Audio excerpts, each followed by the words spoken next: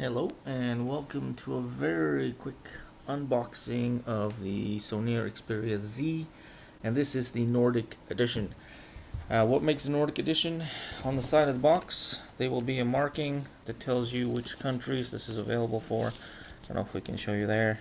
Uh, Sweden, Denmark, Norway, Finland and Iceland. So that box is going to be a little bit bigger. Um, what's inside is the difference. I'm going to go over that real quick. Um, if you want a quick rundown, if you don't know what the Z is, but I think everyone knows what it is. If you're looking at this video, you probably already know the specs. 5 inch HD display.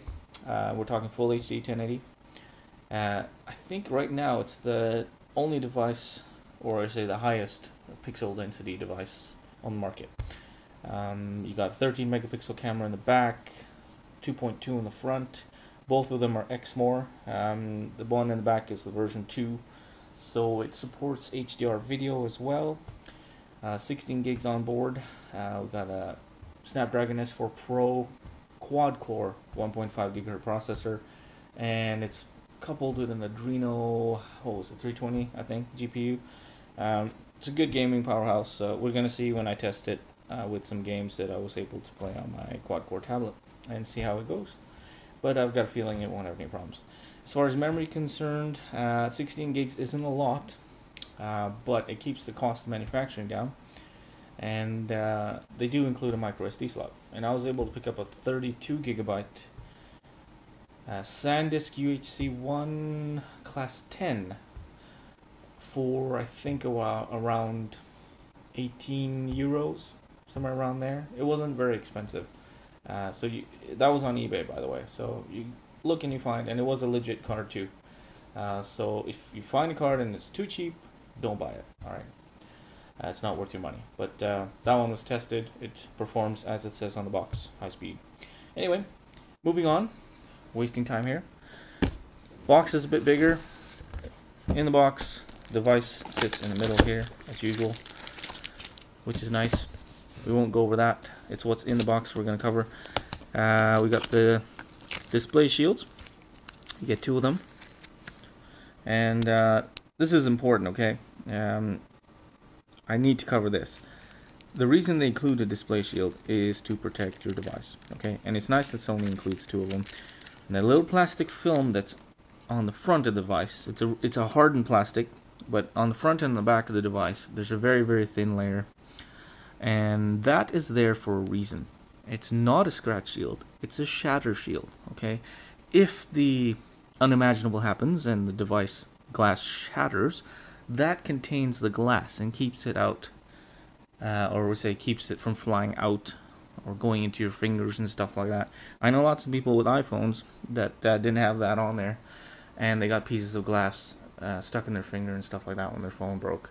So you don't want that, all right? Do not remove it. I've seen people on the net that are removing that display shield, you could say, if you want to call it, but it's more like a shatter shield. Trust me on that. Uh, when you remove it, you lose the Sony logo. So that should give you a hint as to why it's there. It's supposed to be there. So don't take it off, alright? Put these on top of it. Okay, you can scratch that shield, yes. But that's why they make these. You protect your device with this. I've always used display shields over the shatter shields on all my devices that I've had that include that shatter shield. So I've had uh, Xperia S before this, Xperia Arc, and an X10 before that. I think the X10 was the first one I had, maybe, with that shield on there. I'm trying to think. I don't remember. Anyway, use these, you'll thank me. Because the one day when you want to sell your device and this one is all scratched up and you peel it off, guess what? You got a brand new phone right under there, alright? It will so help you in the future. It makes no difference as far as response of the phone. I've tested it with the display shields. It makes no difference. It's a good capacitive screen. Supports 10 finger multi-touch. You won't have any problems whatsoever. Moving on. Underneath the box. Here we go your standard accessories. We have here micro USB cable with the USB charger. The charger itself is a very high output one. I think it's the highest one I've seen so far. There it is, 1,500 milliamps. I don't know if we can you can see that there, maybe. Anyway, it's 1,500 milliamps, which is pretty high for a standard charger. But uh, the battery in the device is pretty big, so that's good. Kudos to that. Then we have the standard Sony headset. It's not too bad. Uh, I don't use them anyway, so this will be new in the box. And it comes with the little rubber pieces to fit all the ears. Um, I do have an MW600, so probably won't be using that. This is what's different in the Nordic edition. Sony includes the DK26 loading or charging station, you can say, or dock. And it's very simple to use. The device itself, if you don't know, has two pins on the side that only activate when it receives power. And the phone goes click in there and it's done. So, you know, you put it beside you or beside your bedside table or something. And those pins that are supposed to charge it, they come up when this thing is depressed. I don't know if you can see that. Anyway, uh, very, very cool thing to include. I'm happy they did. Um, I haven't seen that included with the UK devices, uh, but I did see one German video that shows the dock and smart tags in the box. And I don't know if that was operator specific or if they got a Scandinavian version or something and included some extra stuff. But if you have a German device and it has the dock and some extra stuff, uh, let me know. Post in the comments. Uh, so I'm curious as to what's out there and which different markets. Uh, other, we could say, operators or providers give you headsets uh, and speakers and that kind of stuff. Uh, also, Sony does that if you order from their website. Uh, they can include the Bluetooth speaker or the NFC speaker, I should say, and a nice headset that connects by NFC as well. It's also Bluetooth or wired. I don't remember the model number off the top of my head.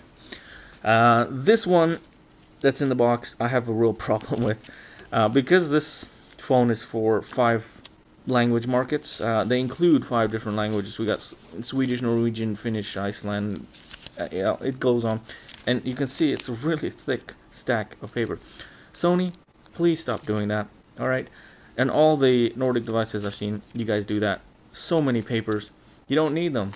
Do a quick uh, start guide and maybe a small piece of paper that says if you want the instruction books, get them by PDF, or even put them on the phone by PDF. Uh, you used to do that before. I, I don't know why you don't do it anymore, but I, I think this is a waste of paper, honestly. Uh, but you know, to each their own. But there you go. That is the Nordic edition.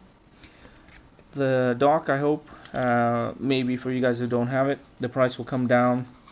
Uh, I don't think it's should be that expensive. It's very simple. It's just plastic with a connector for micro USB that comes up here. So I'm willing to bet the Chinese are going to have their own version of this. Alright, thank you for watching. Have a good day.